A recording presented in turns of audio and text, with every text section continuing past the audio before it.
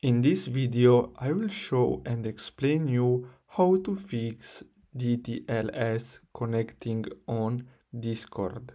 So there are two ways to fix that. Now before we start, make sure to like and subscribe if you find this video helpful.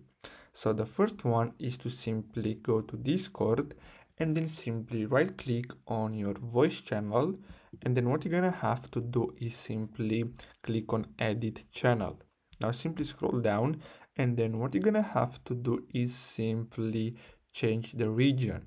So keep in mind that you can do this also in private uh, calls. So if you want, you can do this on both servers and private calls. So this is one way to fix this problem. Now another one which I found on Reddit is basically to tell them to stop as you can see this users user told um, uh, here that you're gonna have to tell them that uh, they need to stop the call entirely and then restart it. And as you can see for this user uh, worked so you can try this one. So basically that's all for today's video. I really hope you found this video helpful. Thanks for watching